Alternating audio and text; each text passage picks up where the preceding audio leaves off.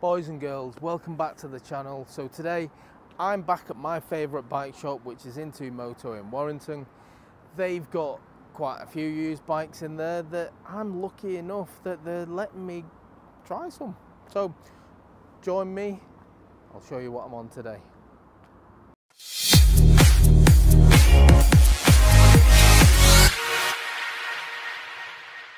I've only gone and pulled a scooter out the bag, but do you know what? This is no ordinary scooter. It's a bit of a wolf in sheep's clothing job.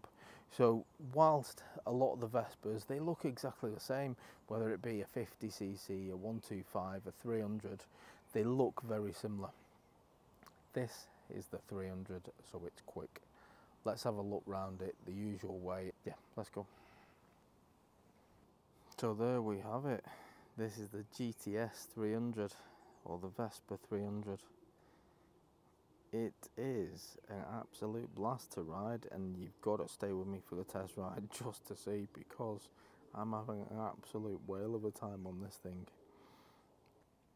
So as far as the brakes go we've got a single disc at the front We've got a single disc at the back as well, and the brakes are exceptional. Again, you've got to watch the test ride just to see how good they are.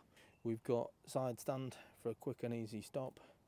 We've also got your centre stand, which again, brilliant as far as storing the bike goes, nice and easy.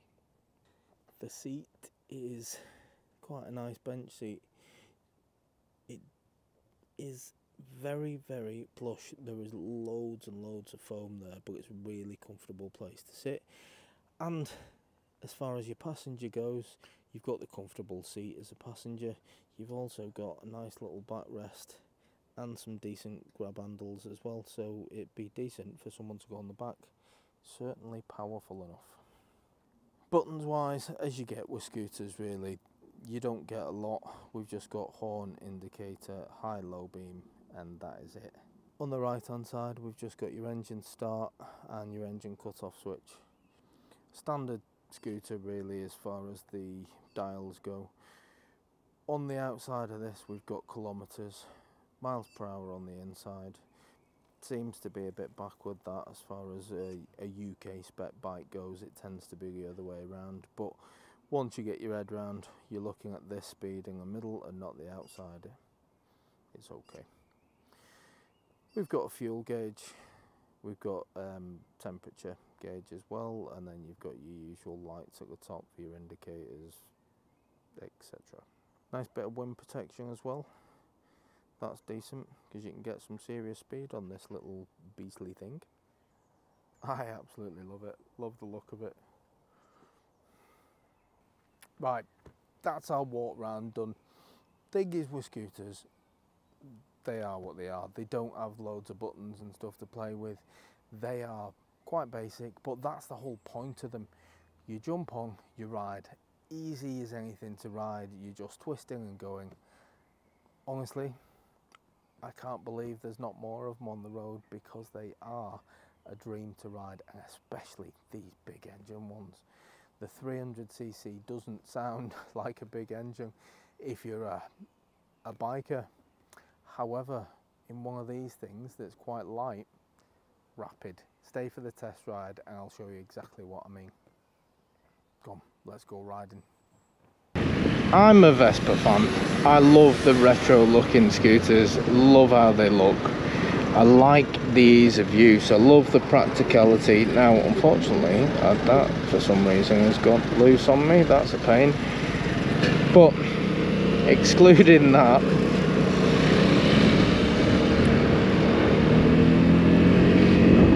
what do we think of a scoot now what I like about this one in particular is this is a 300 now 300 ordinarily if it's on a bike 300 doesn't mean anything special.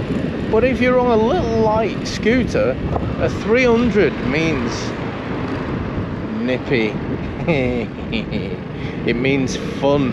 It means rapid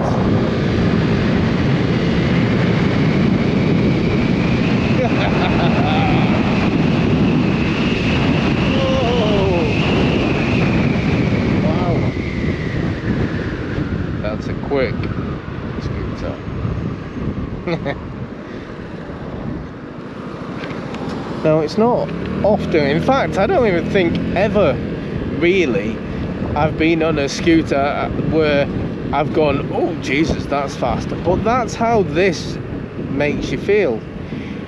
It is a 300cc, so a 300cc on a bike that is so light that when you give it some, it just seems to take off. And I've been on loads of scooters and I really do like anything 125 and above for me. I just am a massive fan of.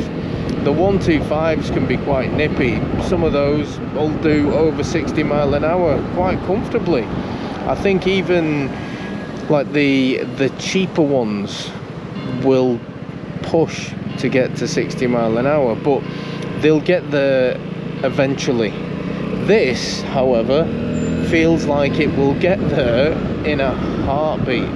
There is so much usable power and it's so easy to use because it's just a rev and go. As soon as you twist on this we are going places. And because it's a scooter it's comfortable. These things are made aren't they? For town use the bigger engine ones like this they're made to go that bit further afield and I think I would be perfectly happy going on a little tour on this thing. I'd be more than happy in fact because the comfort is out of this world.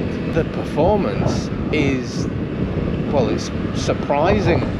It is genuinely surprising just how good it is. And what I like about here is because there's so much room down there by your legs you can move your legs about just don't get the same aches because you've got so much range of movement where you can move your legs in different positions so you don't get stuck in the same place which I think is really really good like most people will have done in their time where you get a group of scooters on the motorway and they're ploughing down the motorway and you're thinking oh oh those that looks a bit bloody iffy with those little wheels. But do you know what? No not an issue at all. These bikes are unbelievably comfortable. So when you do get some decent speed you just you feel really secure it's it's surprising really. Oh, it surprised me. You seasoned scooter riders i'm sure will be going what you're talking about? Of course you can do that. And i know that is because you guys have been on scooters for a long time. But people like myself that have only just recently got a newfound appreciation for them I just get blown away me when it's something like this that is so quick. Ducks. Quack, quack, quack, quack, quack, quack. Okay. Rapid. You go and ride a 50cc, which a lot of people do, especially on the holidays, because they're nice and cheap to rent, aren't they? 125 is exactly the same. Now, you can go on a 125 and appreciate how nippy they are, certainly in comparison to a 50. But you get onto a 300cc like this, and they are a whole new level. I mean, they are just, you get all of the same benefits as the small scooters. They're still quite fuel efficient. They are still very easy to ride they are very comfortable. I mean, you'd have to change your wardrobe a little bit. You'd have to get a parka jacket and stuff instead of your full leathers. But that's, I think that's the beauty with this type of bike, isn't it? They do have such a big following, and it is a bit of a lifestyle choice. If you're just doing town riding, I don't think there's anything better because they're brilliant for filtering because they're only little things you add a bigger engine into that scenario. You've then got a bike that's awesome for going around town brilliant for going a little bit further afield as well because not only have you got the ease of riding the comfort of riding you've also got something that is capable of motorway speeds and comfortably doing motorway speeds, not something that you're thrashing the absolute nuts out of it, which is what happens with a 125. You're pretty much taking them to the max to get them anywhere near what you would class as a motorway speed. Whereas this is just not the case. These can do motorway speeds, but you're doing motorway speeds comfortably without really pushing the engine too much. These bikes, brand new, are quite expensive, certainly as far as scooters go, but you do get what you pay for. You, you're basically buying a scooter with motorbike performance. So I can see why they are so expensive something like this on the used market, you can pick up yourself a nice little bargain. a nice little bargain that goes like stick. I know like there's more to life than just speed and performance and stuff. Well, actually is there. when it comes to motorcycles, it's all about the speed and performance, isn't it? And it's a bonus if they're comfortable. but this has got your speed it's got the performance it's really comfortable it just boils down to do you want a scooter and some people love the looks some people don't love the looks some people like I suppose I was only a year or so ago I just never fancied a scooter never fancied the looks of them but my god have I changed my mind now because these are exceptional. Okay, so I'm back at the dealers. I've dropped that bike off. I'm quite impressed with it. Let me know what you think in the comments. If you're interested in the bike that I've been on today, then don't forget it's available here, but I don't know how long it's going to be available for. This place seems to have got really busy and bikes are coming in and they're going out quickly. So if you're interested in this bike, then get onto them quickly. You can see there, we've got the website, the phone number, get onto them